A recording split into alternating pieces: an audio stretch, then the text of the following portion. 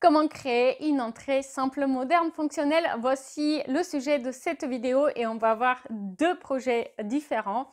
Euh, un projet qui est avec une entrée assez simple, assez fonctionnelle dans un style scandinave plutôt classique et un autre qui est plutôt atypique. Mais avant de poursuivre, je vous rappelle que si ce n'est pas encore fait, vous devrez absolument télécharger la checklist rénovation, un document sur une page qui vous donne la vision claire de votre projet de rénovation euh, dont vous avez besoin pour avancer sereinement.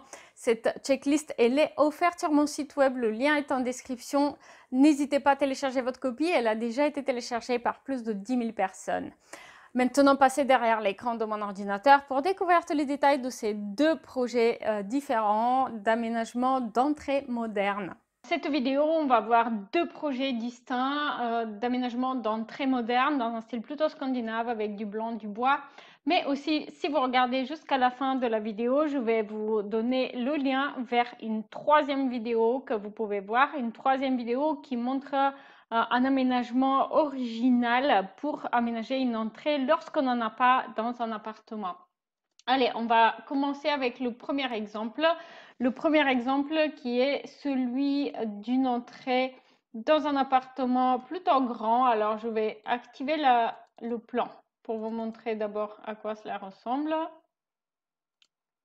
Voilà, donc on a un assez grand appartement et l'entrée se fait en plein centre de l'appartement.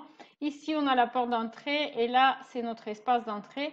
Et on va organiser la pièce de vie ici au centre et les chambres. Je vais réactiver la coupe une autre fois pour vous montrer euh, l'élévation de l'entrée. Alors par contre, ça rame un petit peu.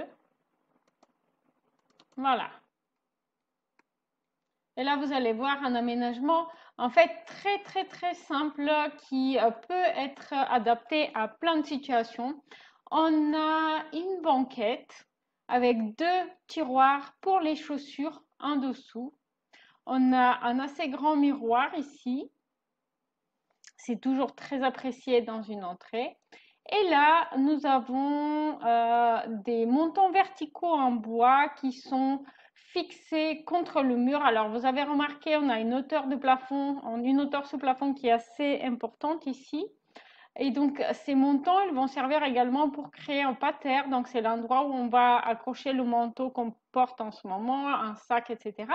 Et ici, à droite, on a tout simplement une armoire. Donc, c'est en somme une ponderie avec étagère pour les gants et tout ça. Voilà, et donc euh, cette entrée, elle se situe euh, au centre de l'appartement, juste face à la porte d'entrée. Elle est vraiment très, très pratique. N'oubliez pas de me dire en commentaire lequel de ces deux exemples d'aménagement d'entrée moderne et euh, fonctionnel vous a le plus plu. Maintenant, on va passer au deuxième exemple. ici, bon, je vais... Voilà, là comme ça, je pense que ça va être plus facile à voir. Ici, il s'agit d'un réaménagement pour un duplex, donc en rénovation, un duplex où il n'y avait pas vraiment d'entrée, c'était assez difficile de ranger euh, les choses.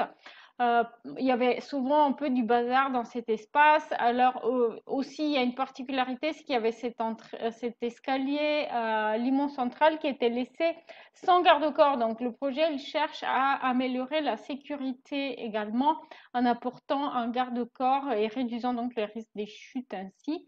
Et du coup, on a un aménagement en 3D qui vient créer un meuble sur mesure avec ici un aménagement similaire à celui que vous avez vu, avec un tiroir euh, en dessous, là une ponderie, pater euh, euh, pour les manteaux et tout ça.